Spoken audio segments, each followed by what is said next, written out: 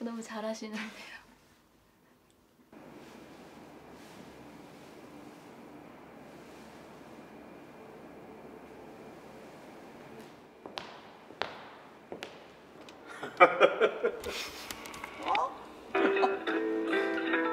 사람들이 꽤 있네.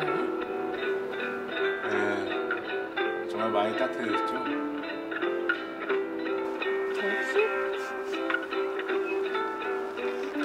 무슨 냄새 나지 않으세요? 아니요? 뭐 무슨 냄새가 나요? 제가 막 빨리 걸어와가지고 너무 더워서요. 땀을 많이 흘린 것 같아요. 떡볶이도 드실래요? 드시고? 음. 좀 먹어볼게요. 음.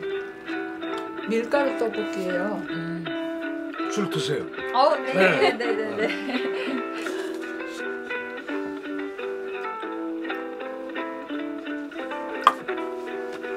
아, 너무 좋다. 사람이 이렇게 술도 좀 먹고 이렇게 살아야지. 그죠? 여배우라는 게 참 순수해 보여. 맞아요. 진짜 순수하세요. 잘 그렸네.